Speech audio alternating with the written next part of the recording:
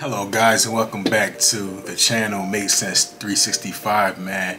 And today I have with me the newest release from Givenchy Gentleman Reserve Privé. This thing smells amazing. We're going to talk about it. Be our first impression. Stay tuned.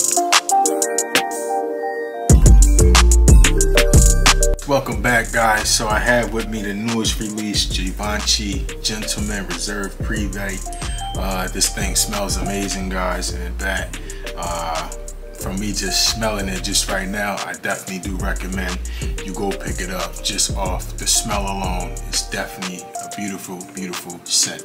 But before I get fully into the video, man, I want to thank you guys for tuning in. At the time of me shooting this video, we are at 998 subscribers, guys, on the road to reaching that first 1K. So I want to thank you guys. If you're new to the channel, thank you for tuning in. If you are returning, definitely thank you for tuning in. Hit that subscribe button, turn on notifications, man. Like I said, we working all year, not stopping this time. So thank you guys for tuning in on the road to that first 1K, man. So let's go ahead and get into it with the fragrance. Sorry guys, Givenchy Gentleman 2022 release, man. This thing smells amazing. I'm gonna say definitely for colder weather, fall, and maybe,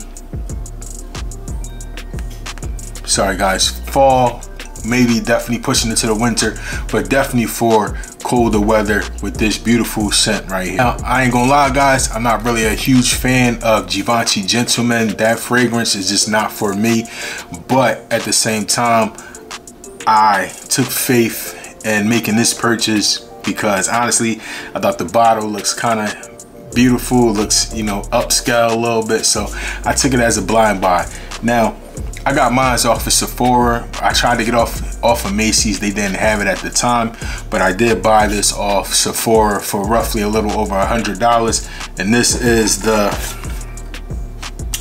3.4 ounce bottle, guys. This is the box um, 3.4 ounce bottle is going to run you over a little over a hundred dollars but just a first impression I definitely think it is worth the buy. Now some of the notes up in this fragrance uh, just checking it out.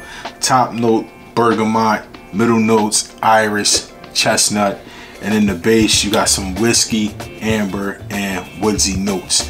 Now when I spray this I'm not gonna spray it now because it's very very potent guys. I don't want to spray it uh, it's going to interfere with what I'm wearing right now. But when you spray this, guys, you are going to get a nice, nice blended chestnut note up in this thing. It smells really nice, really put together, really smooth. I think this definitely can be of niche quality, even though it's a designer, but it's really smooth, really nice put together. Um, when I did spray it, I get a little of the whiskey, but it's not real boozy though. It's not real boozy in my opinion. But I will say out of all the fragrances I have picked up this year, this one is one of the best purchases.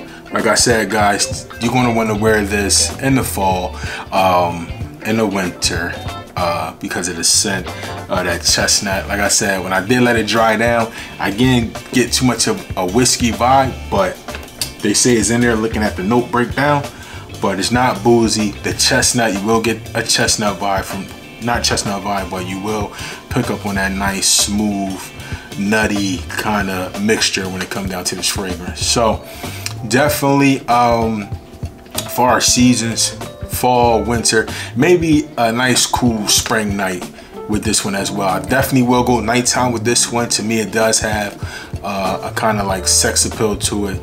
So um, I will definitely say nighttime uh, with this fragrance right here, in my opinion. Um, Givenchy Gentleman Privé, Reserve Privé, it does remind me a little bit of uh, Stronger With You. This is one of my favorites as well. Uh, beautiful scent right here as well. Some resemblance, doesn't smell the same, but a little re resemblance. And with Azzaro, the most wanted, um, both of these fragrances have like uh, this one the tonka bean uh, this one I believe has hazelnut so both of those notes in there are blended together just right and the same thing when it comes down to the reserve privé that chestnut vibe. Definitely smells nice. I do get a little iris, uh, definitely get the bergamot when you first spray it. So overall, guys, uh, this fragrance is definitely in my category. From 1 to 10, just off a first impression, I got to give it a 8. Um, I'm gonna give it an 8 to start out um, because I wanna wear it for a full day. I might wear it tonight, going out tonight. I wanna wear it for a full night out and see how it performs. But all in all, man, it's just, it's a beautiful fragrance, guys. So if you haven't already gotten your hands on the Givenchy Gentleman Reserve Privé, check it out. I think you're definitely going to like it.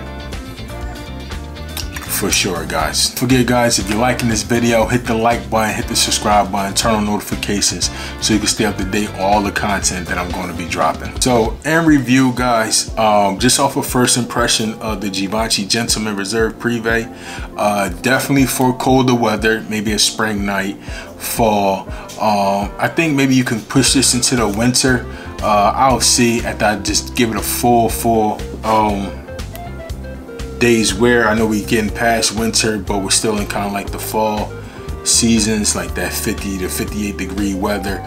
So, you know, I do think that that will work. Uh, it smells great, the scent. And um, as far as the tire go, I do think this has an upscale vibe to it. So I would say formal attire. And this is the 3.4 ounce bottle. I got mine from Sephora. I'm pretty sure Macy, Macy's has it in now. It's gonna run you over a little over a hundred dollars. So that was my first impression, guys. Um, thank you guys for watching. As always, peace, salute. I'll catch you guys in the next video.